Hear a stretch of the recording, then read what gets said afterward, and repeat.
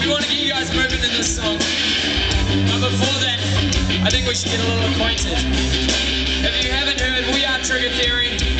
We're playing here all weekend. We're playing tomorrow on the debut stage at 5 o'clock, and then again on the deluxe stage. And I promise you that this show will be complete.